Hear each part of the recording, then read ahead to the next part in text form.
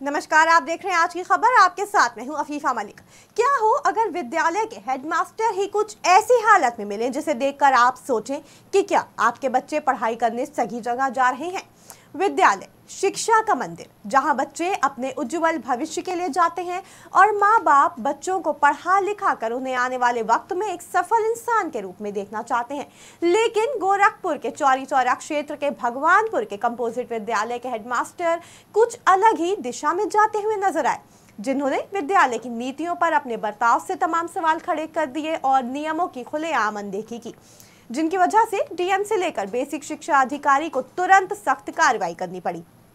Composite विद्यालय में headmaster नशे की हालत में मिले। डीएम के निर्देश पर जाँच कराई गई और इस दौरान हेडमास्टर नशे की हालत में पाए गए।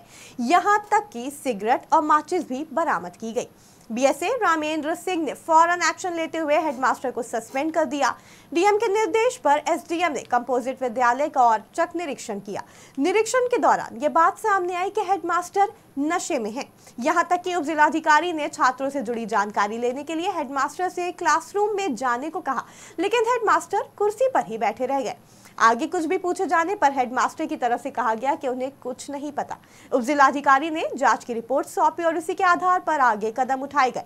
फ़िलहाल आगे की कार्रवाई की जा रही है। अभी के लिए इतना ही। आप जुड़े रहें आज की खबर के साथ।